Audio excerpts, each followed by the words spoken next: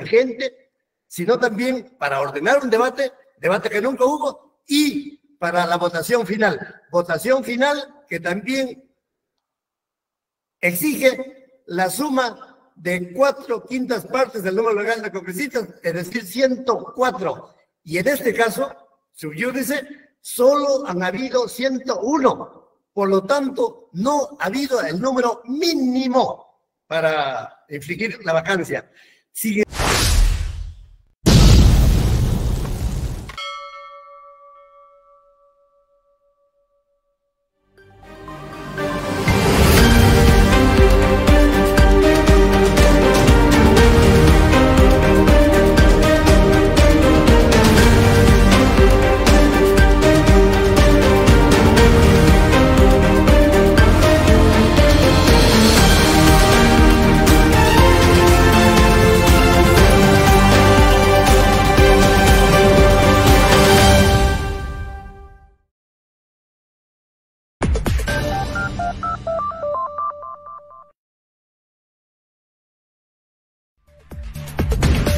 la parte demandada, Congreso de la República, el doctor Javier Ramos Espinosa. Señores abogados, este superior colegiado les concede cinco minutos para que sustenten los argumentos de su demanda. Muy bien. Doctor Olivera, tenga usted muy buenos días. Bienvenido a esta audiencia única y lo escuchamos por el tiempo concedido, lo que usted tenga bien a manifestar respecto a la demanda, oralizar sus argumentos. Adelante, señor. Gracias, doctor Néstor Paredes Flores, presidente de la sala. Nuestra demanda de amparo es por violación al debido proceso y por violación del derecho constitucional de defensa. ¿Por qué violación del debido proceso? Porque el día 7 de diciembre del año 2022, el Congreso, a una sesión convocada en forma antirreglamentaria, inconstitucional, declaró la permanente incapacidad moral del presidente Pedro Castillo Terrones y, en consecuencia, declaró su vacancia. Disque, conforme lo dice la propia resolución suprema, resolución congresal aprobada, porque había leído un mensaje a la nación y nada más. Y disque en aplicación del artículo 113, inciso 2 de la Constitución Política, lo cual realmente, señores jueces superiores, es un paralogismo, porque no es cierto que hayan dictado una resolución congresal de vacancia de conformidad con ese numeral constitucional invocado, porque ese 113 inciso 2 de la Constitución, dice que se vaca al señor presidente por incapacidad moral permanente declarada por el Congreso. Subrayo, declarada por el Congreso. Y el Congreso no declara una vacancia ad libitum. No es libérrimo para declarar una vacancia. Tiene que declarar la vacancia con sujeción a derecho. ¿A qué derecho? Al derecho parlamentario, al derecho parlamentario que se encuentra regulado en la constitución política, en leyes y en el reglamento del Congreso por mandato constitucional. Y resulta que hay violación al debido proceso porque este reglamento establece el procedimiento. Paso uno, para iniciar este procedimiento, se debe presentar una moción de vacancia escrita, firmada por 26 congresistas. Nunca se hizo eso. Luego de presentada esa moción de vacancia, se debe citar a sesión del Pleno para que luego del debate se admita o no a trámite la vacancia planteada. Y para esa aprobación de admisión a trámite se necesita un mínimo de 52 congresistas, un mínimo de 52 votantes. En este caso, no ha habido esa sesión menos la votación de 52 congresistas. Y después de que se haya admitido a trámite una moción, se señala por el Pleno del Congreso, por el Pleno del Congreso, día y hora para el debate y votación final. Señor, cuando se señala fecha antes del tercer día de admitida una vacancia, tiene, tiene que ser con una aprobación de cuatro quintas partes del número legal de congresistas. Y no lo dice vuestro defensor, vuestro abogado, lo dice el artículo 89A, inciso C del reglamento del Congreso, que dice si es que se, tiene que señalar una fecha de audiencia antes del tercer día, en ese caso se necesitan las cuatro quintas partes, es decir, 104 votos. Y no solo para señalar la, fecha antelada, urgente, sino también para ordenar un debate, debate que nunca hubo, y para la votación final. Votación final que también exige la suma de cuatro quintas partes del número legal de congresistas, es decir, 104. Y en este caso, subyúdice, solo han habido 101. Por lo tanto, no ha habido el número mínimo para infligir la vacancia. Sin embargo, en la contestación de la demanda que realiza el Congreso, que lo muestro acá al público, que tiene 490 páginas con sus recaudos, por lo tanto, cinco minutos es una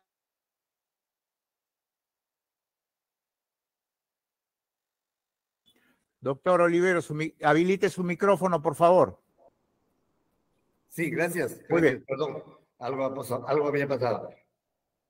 Entonces, esta contestación de demanda en forma expresa, señores jueces superiores, dice que se ha aplicado el artículo 89A, inciso D, inciso D, es decir, un inciso en donde se establece 87 votos y ellos dicen que ha habido 101 superior a, la, esta votación calificada de, 100, de 87. Señor, pero para aplicar el inciso D, se tiene que aplicar el inciso C, el inciso B, el inciso A. Parece que los señores del Congreso se saltean al D porque es el único que habla, habla de 87 votos, cuando el inciso C, en forma expresa y en forma excepcional, exige la cantidad mínima de 104 votos, como lo reitero. Señor, y contra esta demanda que en forma expresa imputa la violación al debido proceso, se ha creado un procedimiento. Este procedimiento, que es parte de una farsa, lo inicia la Junta Directiva. La Junta Directiva en la sesión convocada para ese 7 de diciembre dice, la Junta Directiva propone la vacancia. Señor, ni en la constitución política, ni en, el, reglamento del Congreso hay alguna norma que permita a la junta directiva proponer una vacancia. Y luego de que propone la vacancia, entre comillas, presenta un proyecto de resolución de vacancia, proyecto que, que fue aprobado por los 101 que, que les digo, debiendo ser 104. Pero no se puede llegar a una sentencia final si es que no ha habido una demanda, si es que no ha habido un procedimiento, si es que no ha habido contestación a la demanda, si es que no ha habido citación al bajado, si es que no ha habido citación a su defensor o a sus defensores. Eso es, señores jueces superiores, infracción del debido proceso porque no se ha respetado la línea procedimental que está estatuida en el reglamento del Congreso y además se, ha violado la función en su artículo 139, inciso 3, que dice que nadie puede ser sometido a un procedimiento distinto de los previamente establecidos. Y el previamente establecido es el que instituye el reglamento del Congreso, en cuyos numerales correspondientes no se permite a la Junta Directiva del Congreso plantear nada Nada, porque la moción que plantea una vacancia es escrita, escrita, fundamentada, con seriación de los hechos, con los fundamentos jurídicos relativos a esos hechos y con los documentos que acreditan esos hechos. Señor, aquí en, un proyecto de resolución de vacancia, ¿dónde está ese suceder fáctico? ¿Dónde están los artículos del derecho que permiten e, ese, ese trámite farsesco?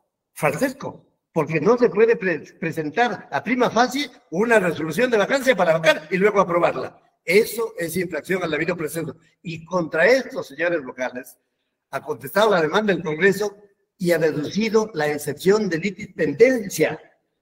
De nuevo, el Congreso tiene interés superlativo que ustedes, señores jueces, caigan en la confusión, declarando una litispendencia, por ejemplo, fundada para que sea improcedente la demanda. Y no solo han planteado una excepción de litispendencia, también han planteado una sustracción de la materia. En efecto, para que ustedes no vean el fondo del asunto, sino declaren improcedente la demanda. ¿Por qué el Congreso no quiere que vean el fondo del asunto y solo declaren improcedente la demanda si el pronunciamiento de fondo? Que algo teme, algo, algo quiere esconder. Además, para sustentar esta litispendencia, presenta, aquí lo puedo mostrar, una supuesta demanda, una supuesta segunda demanda de amparo de don Pedro Castillo Terrones. Aquí la tengo, que lo vea el Perú, que lo vean los señores jueces, que lo vea el procurador para que me refute. Aquí está la primera página de esa demanda, sin ninguna firma de don Pedro Castillo Terrones. Aquí está la segunda página de esa demanda, sin ninguna firma de don Pedro Castillo Terrones. Aquí está la tercera página de esa demanda, sin ninguna firma de don Pedro Castillo Terrones. Aquí está la cuarta página de esa demanda, sin ninguna firma de don Pedro Castillo Terrones. Aquí está la quinta página, la sexta y la séptima, sin ninguna firma de don Pedro Castillo Terrones. Por lo tanto, esta no es una demanda. Y está don Pedro aquí presente. Él desconoce, no reconoce esta demanda en que se basa la litispendiencia y solo reconoce la única demanda que es la que está en curso, planteada por su abogado Walter Ayala González. Por lo tanto, la excepción de litispendencia debe ser declarada infundada y se debe resolver el fondo del asunto. Fondo del asunto que es necesario, pues, que tengas que ser explicitado. Pero cinco minutos, por favor, ruego que reconsideren y que sean diez y que sean quince y que sean veinte. ¿Por qué no se tiene que infligir esta vacancia? Porque, señor, para una lectura de un mensaje que se lee a las 11 y 40 de la mañana del 7 de diciembre del año 2022, luego se lo detiene por una supuesta flagrancia a don Pedro Castillo Terrones a la 1 y 42 de la tarde de ese día.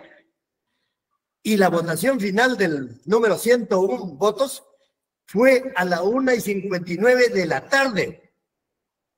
1 y 59 de la tarde sin que se lo haya citado al que se encontraba detenido en la prefectura, sin que lo, se lo haya citado a su abogado. Eso es lo que nunca se debe hacer en agravio de un presidente de la República en funciones, en funciones, porque no se puede detener a la 1 y 42 y recién votar a, la 1 y 59 de la tarde. Señor, ¿y quién lo detiene? Un coronel Harvey Cochado y otros militares y otros policías con una metralleta en mano que le apuntaron por uno de los huecos del vehículo en donde se encontraba don Pedro con su señora, con su hija, con Aníbal Torres Vázquez y otra persona más. Señor, no hay flagrancia para motivar, para justificar una detención de ese modo. Señor, el artículo segundo de la Constitución Política dice que el policía sin mandato judicial puede detener en, un delito flagrante, en flagrante, flagrante delito. Pero luego dice ese mismo artículo que el detenido debe ser puesto a disposición del juez y no de la Fiscalía de la Nación, como se hizo de nuevo como parte de la farsa. Y no se detiene en flagrancia por un policía, termine, por favor. como se le antoja. Tiene que aplicar, señores jueces superiores, por favor, el, el, el reglamento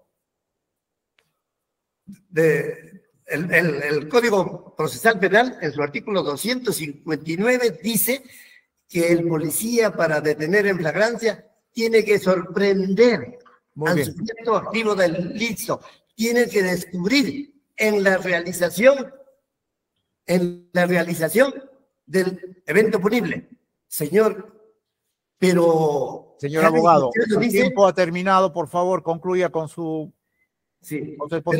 gracias, gracias. Pues yo le habría pedido que reconsideren, ojalá por cinco más, porque estamos no, hablando. Señor, eh, le he dado extensamente más de lo concedido. Por favor. Eh, muy bien. entonces, este que detuvo a don Pedro Castillo Terrones lo ha dicho por escrito, que él lo detuvo por orden superior, lo que significa que no detuvo a don Pedro Castillo Terrones porque le costó la fragancia, porque la vio, sino porque le ordenaron, no sé de dónde, no sé cómo, pero le ordenaron. Eso demuestra que realmente él incumplió el artículo 259 del Código Procesal Penal y que incumplió la previsión constitucional. Muy bien. ¿Terminó? Sí, le, rogaría que ojalá el procurador cuando habla me permita la réplica correspondiente. Por supuesto, señor. Doctor Ramos, tenga usted muy buenos días. Eh, le escuchamos por el tiempo concedido. Buen día, señores jueces superiores, y buenos días a todos los presentes. Hemos escuchado con suma atención la exposición del colega abogado de la defensa, eh, quien dentro de su estrategia se entiende, comienza su fundamentación fáctica atribuyendo una inconducta constitucional al Congreso de la República. Pero para entender este proceso, yo quisiera retroceder un paso para recordar a, este, a esta honorable sala y a quienes nos están escuchando los eventos del día 7 de diciembre del año 2022. Por la mañana, el señor Salatiel Marrufo, respondía ante la Comisión de Fiscalización del Congreso a una invitación efectuada a su persona. Y era la primera vez que una persona integrante y o ex integrante del gobierno anterior señalaba directamente al presidente Pedro Castillo de haber recibido coimas. Eso en el transcurso de la mañana iba generando toda una, todo un comentario a nivel nacional, pues era la primera vez que ocurría esto.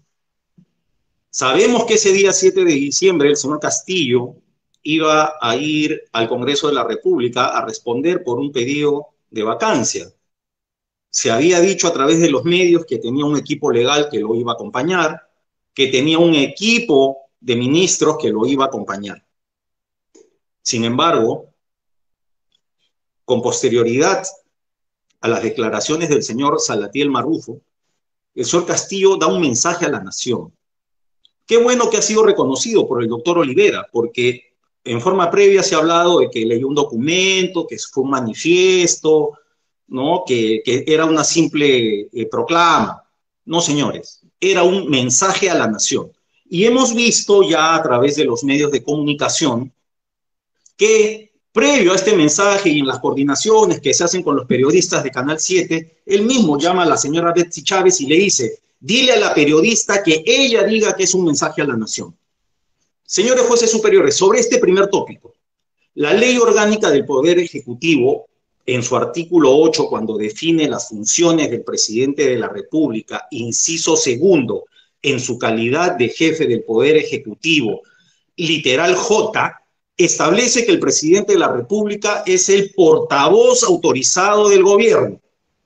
Entonces, su mensaje era un mensaje oficial, conforme a la ley orgánica del Poder Ejecutivo. ¿Qué nos dijo el señor Castillo, entre otras cosas? No me voy a referir a todas, pero lo primero que dijo ya en la parte conclusiva de ese mensaje a la nación, dijo que él establecía la siguiente medida disolver temporalmente el Congreso de la República e instalar un gobierno de emergencia excepcional. Es decir, el señor Castillo rompe el orden democrático, rompe el orden constitucional, se aparta del mismo y a partir de allí es que nosotros sostenemos que frente a una violación de los artículos 38, 46 y 51 de la Constitución Política, el Congreso, frente al quiebre del orden constitucional, tenía que tomar una decisión se ha acusado al Congreso de una vacancia express. Eso no es correcto, señores jueces superiores. Fue una vacancia inmediata. Debía cumplirse frente al quebrantamiento del orden constitucional la integridad del artículo 89A del reglamento del Congreso frente a esta excepcionalidad del quiebre. No, señores jueces superiores. Lo único que no se hizo por parte del Congreso fue presentar una nueva denuncia y la convocatoria. Pero los hechos, la flagrancia que se ha pretendido ocultar esta mañana seguía, porque el señor Castillo pretendió evadir a la justicia luego de cometer esos delitos de rebelión o de tentativa, pretendía irse a la Embajada de México, territorio extranjero según las normas del derecho internacional público. ¿Por qué? Porque buscaba eludir la acción de la justicia, que por cierto no es materia de este, de este proceso. El Congreso, en consecuencia, actúa en defensa de la Constitución y es así que adelanta la sesión y la mesa directiva propone a la representación nacional un proyecto de vacancia frente al quebrantamiento del orden constitucional que había efectuado el señor Castillo. Para ello se requería dos tercios, 87 votos. Hubieron 101 votos. Y se aprobó la vacancia y se procedió con la sucesión constitucional, la que por cierto se pretende desconocer. Dicho esto, dentro del argumento de defensa de nuestra parte, en efecto, señores jueces superiores, nosotros hemos deducido una excepción de litispendencia. ¿Y por qué la hemos deducido? A pesar de que el abogado de la contraria pretende desconocer y, y pretende enseñar documentos no válidos. Porque consideramos que acá hay una identidad de partes, una identidad de objeto y una identidad de causa. ¿Cómo hemos sostenido y documentado esta excepción de litispendencia. Ustedes tienen dentro de los anexos, señores jueces superiores, que hay un expediente 472 del año 2023. Pero quiero ser muy específico, ruego indulgencia a la sala. Este expediente, el 222, su presentación de la demanda fue el 30 de enero del año 2023. El admisorio por vuestra sala, mediante resolución número 3, nos fue notificada el 30 de mayo del 2023 y nosotros procedemos a contestar la demanda el 13 de junio del año 2023. Pero, ¿qué había ocurrido en forma previa? Y eso es lo que se pretende negar. Mediante expediente 472, se presentó una misma demanda contra el Congreso de la República, donde se buscaba lo mismo, la nulidad de la resolución 001 y que se reponga el señor Castillo como presidente de la República y que se le paguen los costos. Las mismas pretensiones. Esta demanda fue presentada el 2 de marzo. La resolución 1 de la segunda sala nos fue notificada el 30 de marzo.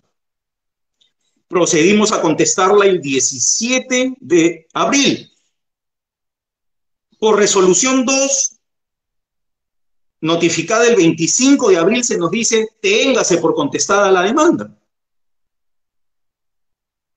El 17 de mayo, el señor Castillo, a través de su abogado, pide una reprogramación de la audiencia. La segunda sala, mediante resolución 3, le dice el 6 de junio improcedente la reprogramación.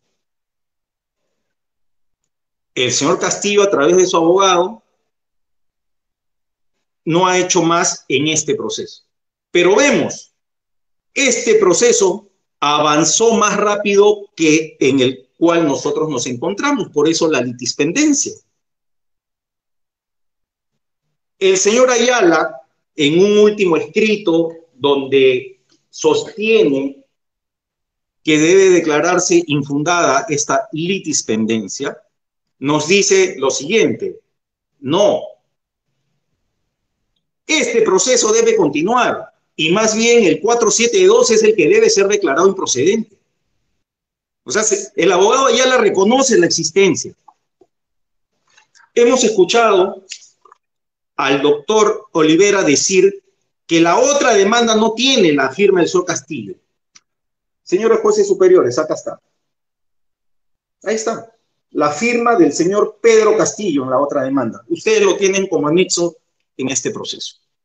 En esa línea, el señor Ayala, en su anterior escrito, dice, no, pero la litispendencia no debe proceder porque en este proceso también estamos pidiendo que se declaren nulas cualquier decisión del Congreso que impide el retorno del señor Castillo a ser presidente. O sea, en base a eso dice no hay, no hay identidad eh, plena. Nuestra parte considera que hay una litispendencia por identidad plena, pero sin embargo, debo señalar a la sala que dentro de esta institución procesal existe lo que se llama la litispendencia por conexidad, donde se señala que cuando falta o no coincide alguno de los tres elementos, que es sujeto, objeto, causa, que no es el caso, solamente es un extremo de la pretensión, se tendría que aplicar la figura de la litispendencia por conexidad. Y voy a entrar al fondo del asunto de lo más eh, concreto posible. ¿Por qué existe sustracción de la materia? Porque ya ha operado la sucesión constitucional, señores jueces superiores. Es decir, luego de la vacancia del señor Castillo, se convocó a la señora Dina Boluarte y hoy ejerce la presidencia de la República en estricta aplicación del artículo 115 de la Constitución. El segundo extremo de la defensa para la improcedencia de la demanda es la existencia de la indispendencia, ya me he referido a ella, no voy a reiterar.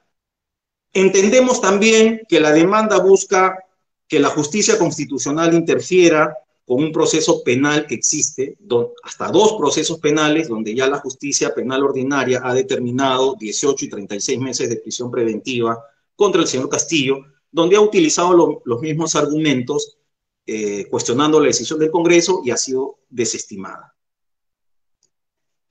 Y em, sobre el tema de la incapacidad moral, a la cual ya me he hecho mención hace un momento, solamente eh, quisiera concluir con lo siguiente. Eh, respecto de la disolución del Congreso y el porqué de la razón en tomar la decisión inmediata, señores jueces superiores. En la sentencia competencial del expediente 006-2019-CC-TC, que fue la competencial que interpuso el anterior Congreso cuando el señor Vizcarra eh, estableció su disolución, ¿Qué nos ha dicho el Tribunal Constitucional en esta sentencia? Algo muy importante. Son cuatro líneas que me voy a permitir leer, señores jueces superiores.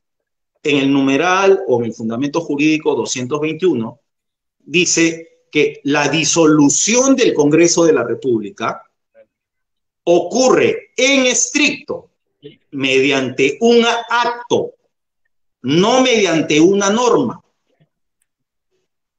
En el 222 se dice, en el presente caso, este tribunal advierte que el acto de disolución se llevó a cabo cuando el presidente de la República dio su mensaje a la nación, no cuando fue publicado el decreto de disolución en el diario oficial del peruano. Conjugando nuestra posición, señor juez superior. Culminado, por favor. Termino, por favor, termino la idea, por favor. Conjugando la ley orgánica del Poder Ejecutivo con lo que ha señalado el Tribunal Constitucional en esta sentencia. El señor Castillo dio un discurso a la nación y el tribunal ha dicho, ese discurso debe ser considerado como el acto de disolución del Congreso. Y nosotros sabemos, por texto constitucional, que el Congreso solo se disuelve cuando se niega la confianza a dos gabinetes, cosa que no había sucedido al ponerse al margen de la Constitución, el señor Castillo no puede invocar que se cumple estrictamente toda la norma reglamentaria para la vacancia. La actuación inmediata del Congreso estuvo acorde a las normas pétreas constitucionales y por ello esta demanda debe ser declarada improcedente. Muy bien. Doctor Oliveros, ¿tiene usted eh, el derecho de réplica? Doctor Olivera, perdón. Gracias, señor presidente de la sala. Hubo un problema técnico acá. Adelante, señor. Eh, le rogaría que sea en la forma más concreta posible porque le hemos dado a los dos abogados el tiempo más allá de lo concedido eh, principio. Adelante, señor. Sí, está muy bien que sea así, doctor. Muy bien, adelante, le escuchamos, doctor. ese tiempo. Sí, en relación al verbo disolver, no es lo que quisiera el colega que acabo de escuchar. El verbo disolver lo emplea el artículo 117 de la Constitución Política, en donde el presidente de la República solo puede ser acusado durante su mandato por disolver el Congreso. Pero ese verbo disolver debe concordarse con el artículo 45 de la Constitución Política. No es lo que quieren los jueces, sino lo que quiere la Constitución Política en su artículo 45, que en donde, en efecto, se habla de que es del- delito de rebelión hacer la disolución, hacer la disolución. Ahí lo dice ese numeral 45, hacerlo, hacerlo, es delito de rebelión. Y don Pedro Castillo Terrones, al leer el mensaje, al leer el discurso, al leer la proclama, que ustedes la conocen, que no la estamos desconociendo, no ha disuelto nada. La Constitución en su artículo 45 dice que hacerlo, disol- disolverlo, realizarlo, es delito de- rebelión. Y el delito de rebelión, señor procurador y señores jueces, lo que dice el Código Penal, artículo 346 del Código Penal, dice que hay que alzarse en armas para hablar del, del delito de rebelión. Y don Pedro Castillo Terrones lo único que alzó es su papel que leyó y una lectura modesta de lo que fuere, discurso, proclama, mensaje, lo que fuere, no permite, no es un acto ejecutivo de alzamiento en armas. Lo, lo dice el artículo 17 del Código Penal. Cuando el medio empleado es absolutamente inidóneo para llegar a un resultado imposible, entonces nos encontramos ante un delito imposible, lo que en derecho penal se llama la tentativa inidónea no punible. Así que el, el solo empleo del verbo disolver a- al hacer lectura no es suficiente porque no se ha realizado ni siquiera tentativa, menos consumación del delito de rebelión. Además, señores jueces, la propia resolución del Congreso, que aquí le tengo, no dice que ha disuelto. Por favor, ojalá el señor procurador duplique. Dice en la, en la primera línea, dice que ante la grave situación generada por el presidente de la República, Pedro por pretender disolver el Congreso, por pretender disolver el Congreso. Pretender, señores jueces superiores, es aspirar, desear, imaginar, y las ideas no son punibles desde el, desde el derecho romano. Por eso es que se está infringiendo el debido proceso cuando se está validando una detención en flagrancia de un delito que no ha sido ni intentado, porque lo dice el Congreso de la República, solo se ha pretendido. Señor, y el señor procurador dice, la inconducta constitucional del Congreso. Señor, es inconducta constitucional del Congreso cambiar una sesión de las 3 de la tarde a las 12 del día, pero para otros hechos, para otro contenido de vacancia. No, señor. Esta vacancia infligida a la 1 y 53 de la tarde es por nuevos hechos, nuevos hechos, como es la lectura a la que me he referido. No es por los hechos de la vacancia que iba a ventilarse a las 3 de la tarde de ese día. Y, y, en cuanto a lo que dice que yo he pretendido eh, emplear, usar una demanda no firmada por eh, don Pedro Castillo Terrones, el colega creo que me sigue escuchando muy bien, esta es la misma demanda que ha acompañado él en su contestación a la demanda de amparo. Está en la página 45, señores jueces, la página 45. Es una copia simple, una copia fotostática, y ese no es un elemento probatorio. Y peor, no es una demanda, algo que no tiene la firma del demandante, del actor, en las siete primeras páginas. Es cierto, es cierto que aquí aparece la firma en la última página, en la última página. Pero eso, colega, la última página no es la demanda. La demanda es todo el contenido que don Pedro Castillo Teronos lo desconoce, no acepta la interposición de este segundo proceso constitucional para que proceda a la litispendencia. Y en cuanto a, lo que decía de, de, de Salatiel Marrufo, señor, no es suficiente el dicho, la bocaza de alguien que dice que entregó dinero. No, ese dicho no tiene ninguna corroborancia documental. No hay una información bancaria, no hay información documental de ningún tipo. Por lo tanto, esa palabrita, coimas, solo son por aspirar pues, a un beneficio penal, como lo ha obtenido saliéndose de la cárcel. Y en, relación a, a lo que dice el colega, que esta vacancia motivó la sucesión constitucional. Señores jueces superiores, ninguna sucesión constitucional puede decirse, puede aceptarse si es que no ha habido una vacancia arreglada a derecho. El colega procurador sabrá que doña Dina Boluarte Segada juramentó, entre comillas, juramentó a las 3 y 53 de la tarde del 7 de diciembre en cambio, la supuesta resolución de vacancia salió publicada en el peruano el día 7 de diciembre a las 3 y 57 de la tarde.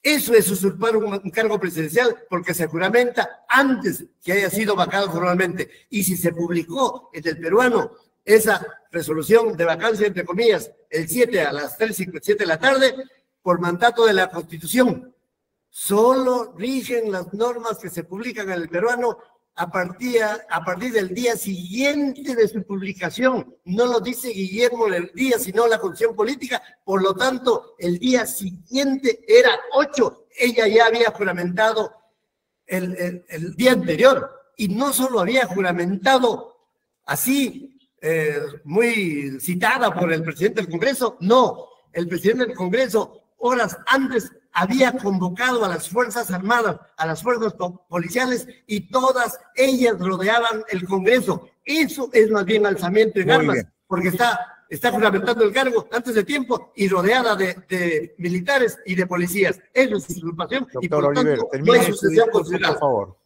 ¿Terminó? Gracias, señor. Muy bien. Doctor Ramos, lo que usted tenga bien acotar respecto a lo dicho por el señor abogado. Muchas gracias, señor presidente. Eh, interesantes las posiciones jurídico-procesales que, estamos viendo en esta mañana, enriquecedoras, diría yo. El señor, cuando cuestiona el tema de la litispendencia, nos dice, como el señor Castillo no firmó las seis primeras hojas y solo firma la séptima, entonces no reconoce la demanda. Interesante la tesis. Entonces, señores jueces superiores, esta demanda de este proceso tampoco tendría pues este, razón de ser porque el señor Castillo ha firmado la última hoja. O sea, el, mismo abogado de la contraria ya, va definiendo que su demanda se va a caer si seguimos esa tesis, de, donde pretende cuestionar la litispendencia. Yo voy a insistir en algo que no dije, pero está vinculado a mi primera exposición que se ha pretendido contradecir en esta mañana. No se leyó un documento, no se expresó una idea. Fue un mensaje a la nación en el, ejercicio del presidente de la República y eso se llama golpe de Estado.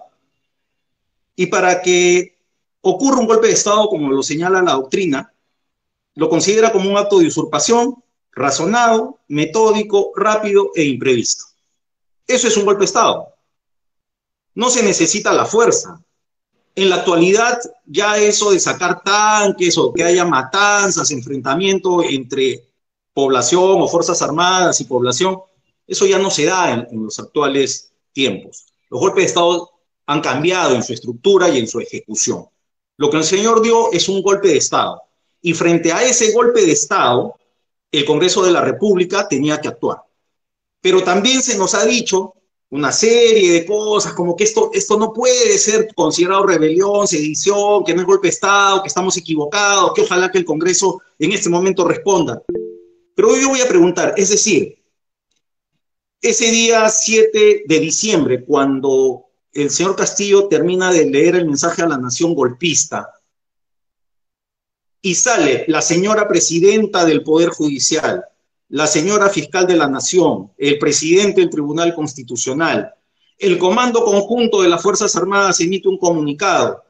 Eh, todas estas, la Defensoría del Pueblo y la Contraloría General de la República emiten comunicados diciendo que ha operado la ruptura del orden constitucional.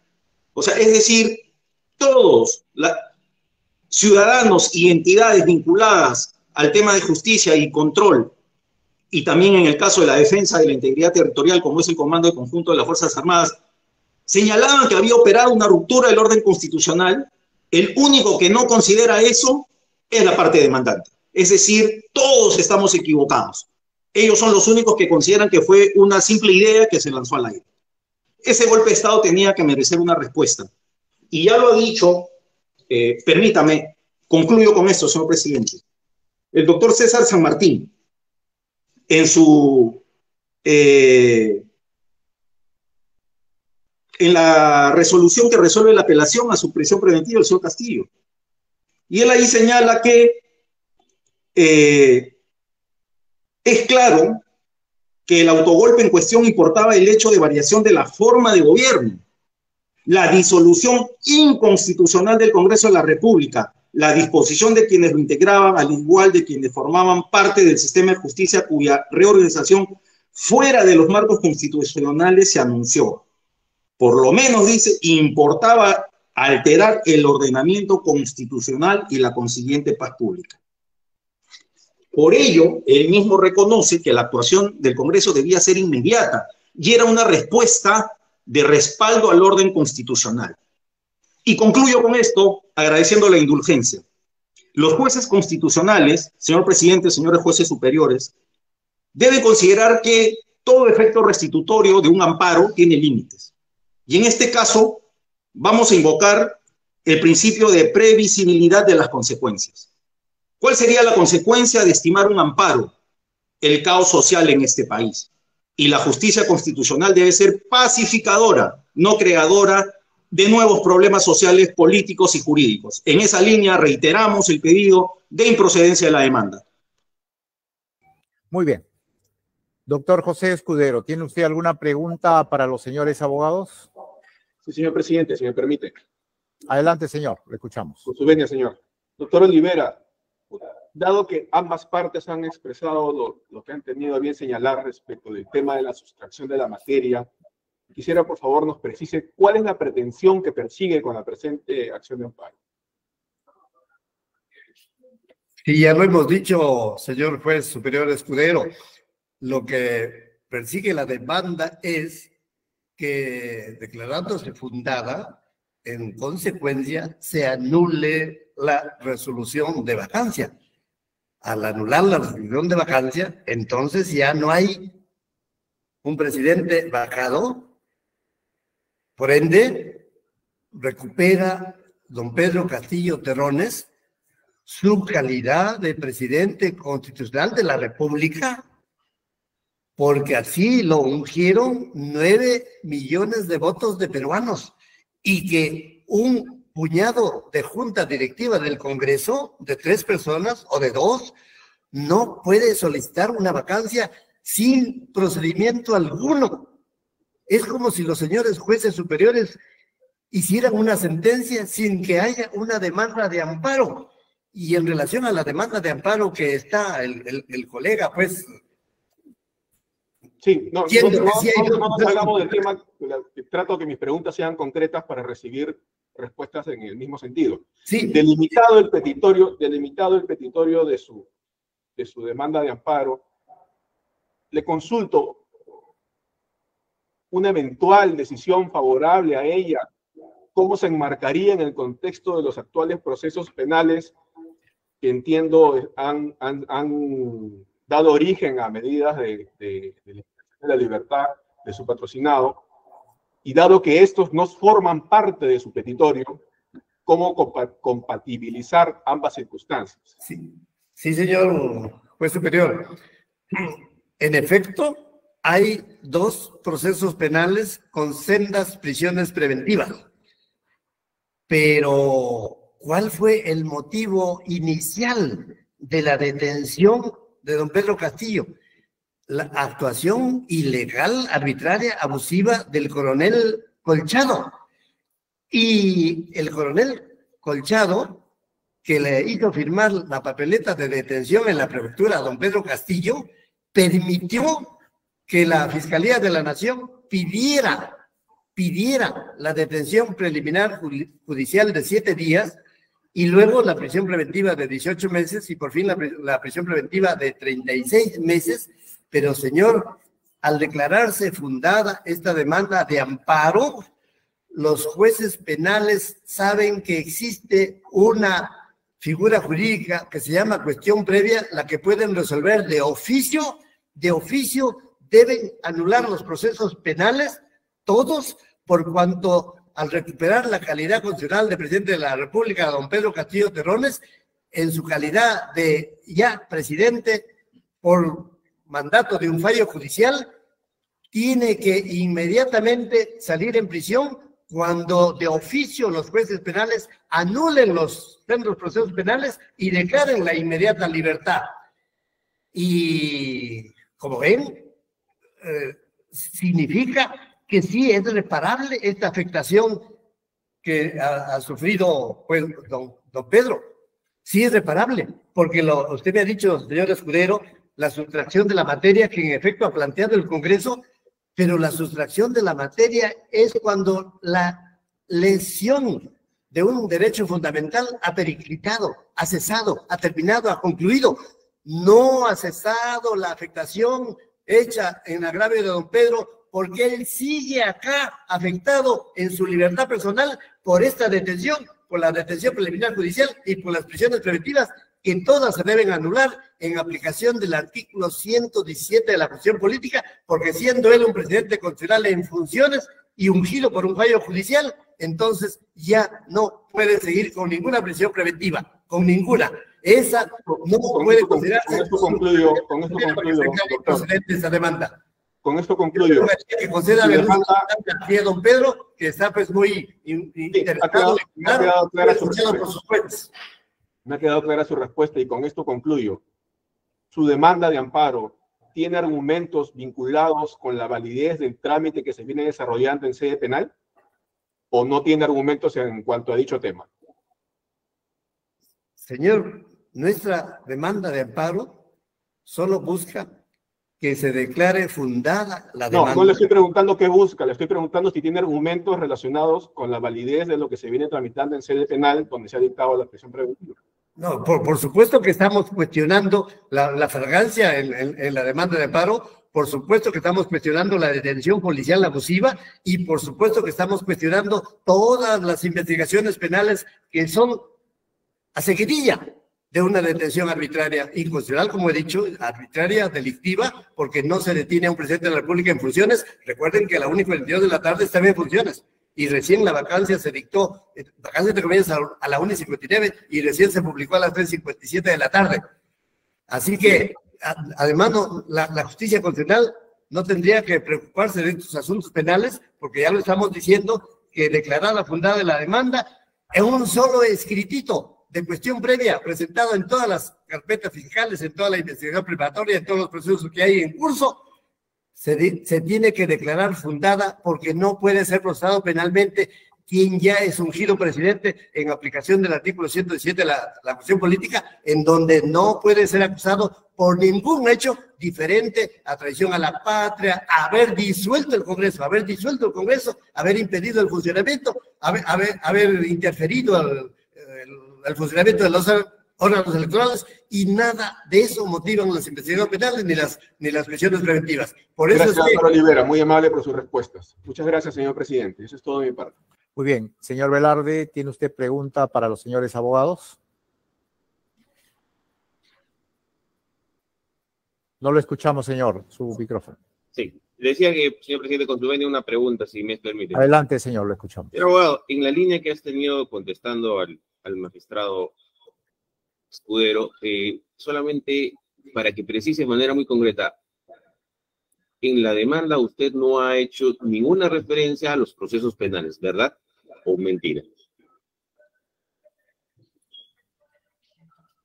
Mire, ya, ya le dije al señor juez superior precedente que en la demanda sí se cuestiona esta detención en Francia, que es la que motiva la detención preliminar judicial y, y, que es la que motiva la investigación preparatoria subsiguiente y por lo tanto, por lo tanto, solo declarando fundada la demanda y... no, pero hasta ahí nomás, señor abogado, porque esa parte la tengo clara. Lo que no tengo claro es que dentro de sus fundamentos hay expresado razones, lo que ha preguntado el, el señor, el doctor Escudero. Eh, claro que es claro que dentro de su petitorio usted ha referido la vulneración de su derecho, me imagino yo, a la, eh, al procedimiento de vacancia, ¿cierto? Sí, sí, eso es lo que hemos, estoy sosteniendo. O sea, la violación del debido proceso y del derecho de defensa. Correcto, correcto. Solo quiero la justicia solo se debe referir a eso y que no se preocupe de los procesos penales, porque vía la cuestión previa es que todo se resuelve.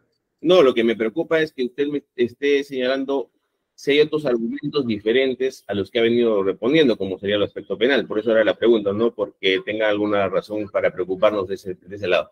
Señor abogado de la parte de demandada, eso justo quería preguntarle también a usted si es que dentro de los argumentos de usted de contestación han hecho referencia también o hay dentro de la demanda elementos de, que den referencia a los trámites penales que se están dando ahorita.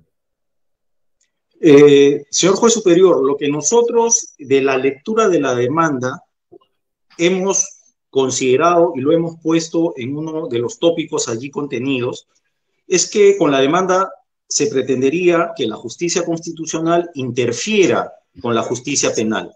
Eso es lo que nosotros hemos puesto desde el análisis integral de la demanda, porque como bien lo dice el señor abogado de la contraria, buscan que con el pronunciamiento de esta sala, lo ha dicho así, no me quiero burlar, con un simple escritito, la justicia penal tendría que liberar a Pedro Castillo. Previendo eso, hemos señalado esa posible injerencia de la justicia constitucional en la justicia penal ordinaria. Ok, eso es todo, señor presidente. Gracias. Muy bien, no habiendo preguntas de los señores jueces superiores, agradeciéndole tanto al doctor Olivera como al doctor Ramos por su intervención en esta audiencia única. Lo hemos escuchado ampliamente, con mucha atención, y los autos pasan entonces a despacho a lo que corresponde a efectos de emitir la resolución. Señor presidente, el demandante quisiera hacer... No, señor, ya terminamos la audiencia. Voy a, eh, ya estamos clausurando la audiencia. Muchas gracias y muy buenos días. Bueno.